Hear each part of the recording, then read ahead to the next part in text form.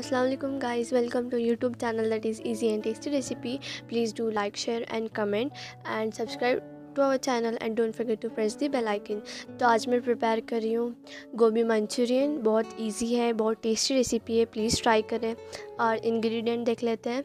मैंने यहाँ पर कॉलीफ्लावर 300 ग्राम ले लिया है। मैंने गोभी cornflour two tablespoon cabbage half cup green chilli दो से तीन, कोरिएंडर यानी धनिया, ginger garlic paste one teaspoon, salt यानी नमक two teaspoon, rice flour one tablespoon medium size के एक प्याज चॉप किए हुए और Kashmiri red chilli powder one teaspoon, tomato sauce one and half cup, spring onion half cup, red food colour two pinch, sugar two teaspoon, red chilli powder one teaspoon coriander powder यानी धनिया powder one teaspoon turmeric यानी हल्दी one teaspoon cumin यानी ज़ीरा powder one teaspoon soya sauce two teaspoon green chilli sauce two teaspoon and red chilli sauce two teaspoon preparation देख लेते हैं। मैंने यहाँ पे हाई फ्लेम पर पानी को गर्म होने के लिए रख दिया था और जो हमने टू टेबल स्पून साल्ट ले लिया, उसमें से one table one teaspoon डालकर इसको जो हमने गोभी चॉप कर लिए थे, वो डालकर सिर्फ़ एक मिनट तक बॉईल कर ले। ये पूरा गल नहीं जाना है, पूरा बॉईल नहीं होना चाहिए थोड़ी सी हार्ड होना चाहिए। तो जब एक मिनट हो जाए तो इसको छान लें। तो आप देख सकते हैं एकदम हार्ड है सॉफ्ट भी नहीं है। और जो हमने ड्राई इंग्रेडिएंट ले लिया था, जैसे कि राइस फ्लावर कॉर्नफ्लावर कश्मीरी लाल मिर्च red chilli powder turmeric cumin powder धनिया पाउडर और two pinch red food colour salt और सारे इंग्रेडिएंट को पहले मिक्स कर लें और थोड़ा थोड़ा पानी डालकर इसको अच्छी तरह एक थिन बैटर बना लें। बहुत सारा पत बैटर पतला मत करें, यानी थिन मत कर लें, क्योंकि जो हमने बॉईल किया था कॉर्नफ्लावर वो जब चले जाता है बैटर में तो खुद ही पानी छोड़ देता है, तब वो बैटर इजी कोट हो जाता है, जो हम, जो हमने फ्लावर गोभी ले लिया था तो उसे अच्छी तरह कोट हो जाता है। तो प्लीज़ मैं जैसे प्रोसेस दिखा रही हूँ, उसी प्रोसेस से ट्राई करें, वही स्टेप्स फॉलो करें तो आपके एक परफेक्ट गोभी मंचूरियन बन जाएगी। तो अच्छी तरह मिक्स होने के बाद मैंने यहाँ पे मीडियम टू हाई फ्लेम पर ऑयल कुक होने के लिए रख दिया था, यानी हीट होने के लिए। जब अच्छी तरह गर्म हो जाए तो एक स्पून या हैंड की हेल्प से इसको डाल डाल दें थोड़ा थोड़ा करके और एक स्पून की हेल्प से इसको पलटा लें, यानी लिफ्ट कर दें ताकि जो अपर सरफेस है वो भी क्रिस्पी हो जाए। तो दो से तीन मिनट तक इसको फ्राई कर लें इसी तरह जब तक ये क्रिस्पी हो जाए। तो प्लीज़ ट्राई करें और अपने फीडबैक्स भी दें। और यहाँ पे मैंने होममेड टमाटो सॉस ले लिया है। तो इसकी रेसिपी मैंने मेरे चैनल पर अपलोड कर लिया है ऑलरेडी तो प्लीज़ जाके चेक करें। या मैं उसका लिंक डिस्क्रिप्शन में दे दूँगी। जब अच्छी तरह क्रिस्पी हो जाए गोभी तो इसको निकाल लें एक प्लेट में।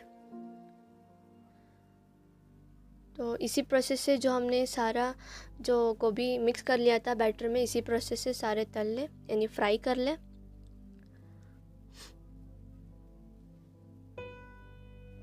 तो आप देख सकते हैं, जो गोभी हमने फ्राई, जो गोभी हमने ले लिया था वो सारे फ्राई हो गए। अब बनाएँगे इसके सॉस और हमें यहाँ पे एक नॉन स्टिक पैन चाहिए।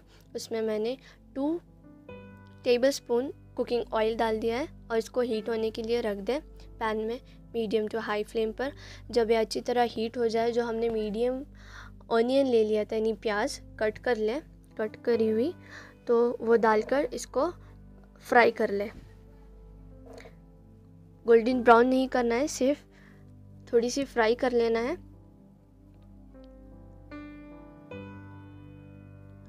तो जब ये अच्छी तरह फ्राई हो जाए, जैसे कि यहाँ पे देख सकते हैं आप, तब इसी स्टेप तक आ गए।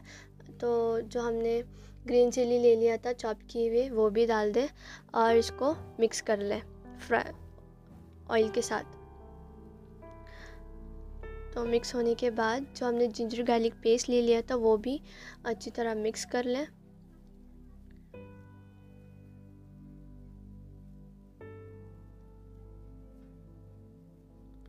जब ये मिक्स हो जाए तो रेड चिली सॉस और ग्रीन चिली सॉस और सोया सॉस सारे डाल दें। हम ये सारे सॉस इसलिए डालते हैं कि बहुत टेस्टी गोभी मंचूरी बन जाए, जो रेस्टोरेंट स्टाइल की। तो इसलिए ये बहुत ज़रूरी है सारे सॉस जो हमने तीन सॉस ले लिए हैं, यानी red chilli sauce green chilli sauce और सोया सॉस और ये जो सॉस देख रहे हैं, ये होममेड सॉस है टमाटो सॉस तो ये भी देखें। अगर आप नए हैं मेरे चैनल पर तो प्लीज़ सब्सक्राइब करें बेल आइकन प्रेस करें और अगर ये वीडियो अच्छी लगी तो लाइक करें। तो मैंने, मेरे चैनल पर ऐसे ही इजी और टेस्टी वीडियोस भी है। प्लीज़ जाकर वो भी चेक करें। और यहाँ पे शुगर डाल दिया, ये कम या ज़्यादा कर सकते हैं अकॉर्डिंग टू योर टेस्ट तो सारे चीज़ डालने के बाद इसको मिक्स कर लें अच्छी तरह और थोड़ा सा पानी डालकर इसको कुक कर लें एक मिनट तक, जब तक ये बबल्स आ जाए। तो देख सकते हैं, ये सॉस भी प्रिपेयर हो गया है हमारा। तो जो हमने फ्राई कर लिया था गोभी, वो सारी गोभी डालकर इसको मिक्स कर लें।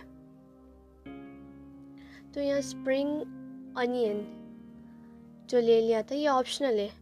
आपके टेस्ट के अकॉर्डिंग है। ये ऑप्शनल है, आप चाहे तो डाल सकते हैं या नहीं। मैंने यहाँ पे बहुत टेस्टी लगने के लिए गोभी मंचूरियन को इसके, इसलिए डाल दिया है। तो इसको मिक्स कर लें और गैस का फ्लेम ऑफ़ कर दें। रेडी है गोभी मंचूरी। मंचूरियन और जो हमने कोरिएंडर ले लिया, ये भी ऑप्शनल है, आप चाहे तो डाल सकते हैं या नहीं। और जो हमने कैबेज ले लिया था, उसको चॉप कर लें और इसको गार्निशिंग के लिए यूज़ कर लें। तो प्लीज़ ट्राई करें और प्लीज़ लाइक करें, शेयर करें और बेल आइकन प्रेस करें। आई होप ये वीडियो भी आपको हेल्पफुल रही होगी। प्लीज़ ट्राई करें और अपने फीडबैक्स भी दें। अगर कुछ डाउट है तो कमेंट करो। और ऐसे ही ने, नेक्स्ट वीडियो में मिलूँगी तब तक के लिए अल्लाह हाफिज़। एंजॉय करें सिंपल सी डेज़